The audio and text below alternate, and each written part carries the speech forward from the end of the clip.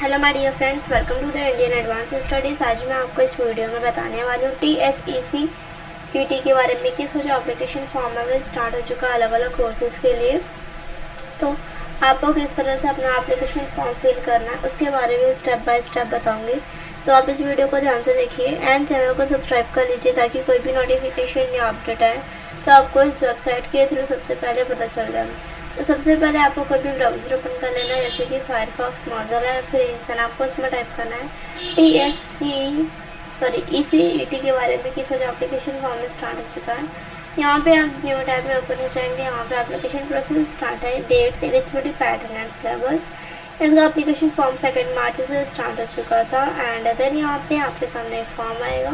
जिसमें आपको अपना full name email ID contact number current state current city interested course highest qualification और आपको गेट फ़ी काउंसलिंग में क्लिक करना होगा।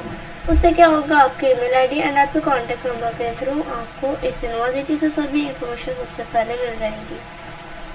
दैन यहाँ पे नोटिफिकेशन आया है कि सर एप्लीकेशन फॉर्म में स्टार्ट हो चुका है। क्लिक किया तो एप्लीकेशन डिटेल्स पर आप क्लिक करेंगे देन आप न्यू टैब में ओपन हो जाएँगे एंड देन यहाँ पे एप्लीकेशन प्रोसेस के बारे में एंड एलिजिबिलिटी क्राइटेरिया के बारे में दिया गया है। देन यहाँ पे क्लिक किया टू अप्लाई पे आप क्लिक करेंगे देन आप न्यू टैब में ओपन हो जाएँगे। यहाँ से जो आपको अपना एप्लीकेशन फॉर्म फिल करना होता है। यहाँ पर क्लिक करेंगे देन आप न्यू टैब में ओपन हो जाएँगे। देन यहाँ पे आप पेमेंट रेफरेंस आईडी आप डालेंगे, फिर पे क्वालिफिकेशन एग्जामिनेशन हॉल टिकट बताएँगे। एंड देन यहाँ पर मोबाइल नंबर डाल के आपको डेट ऑफ़ बर्थ डालना है देन यहाँ पर प्रोसेस टू फिल एप्लीकेशन पे आप क्लिक करेंगे। देन आप जो है न्यू टैब में ओपन हो जाएँगे। वहाँ से आपको अपना personal information educational information finance details and अपने कुछ डॉक्यूमेंट्स आपको देने होते हैं। पर्सनल इन्फॉर्मेशन में जैसे कि आपको अपना name middle name last name religion caste का डेट ऑफ़ बर्थ ये सारी इन्फॉर्मेशन आपको देनी होती है। देन आपको अपना जो है एजुकेशनल इन्फॉर्मेशन देना होता है। एजुकेशनल इन्फॉर्मेशन में आपको जो है, आपको अपना टेंथ एंड ट्वेल्थ का परसेंटेज बताना होता है, कौन सी ईयर में आपने कंप्लीट किया था, आप वो बताएँगे कौन से स्टेट्स एंड कौन से यूनिवर्सिटी से कंप्लीट किया था आपने।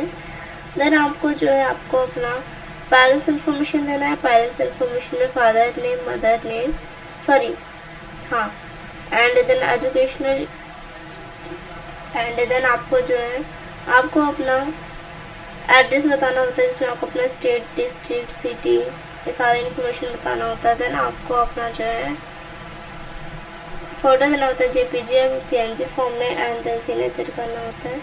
सारा प्रोसेस कंप्लीट करने के बाद आपको जो है, आपको अपना एप्लीकेशन फ़ीस देना होता है। आप अपना एप्लीकेशन फ़ीस किसी भी तरह दे सकते हैं, जैसे कि net banking debit card wallet पे तो इस तरह से आपको जो है सारा प्रोसेस कंप्लीट करना होता है। अगर आपको कोई भी डाउट हो तो आप डेफिनेटली कमेंट कर सकते हैं। इसकी लिंक डिस्क्रिप्शन बॉक्स में दी गई है, आप वहाँ पर जाकर चेक कर सकते हैं। So thank you so much for watching my video thank you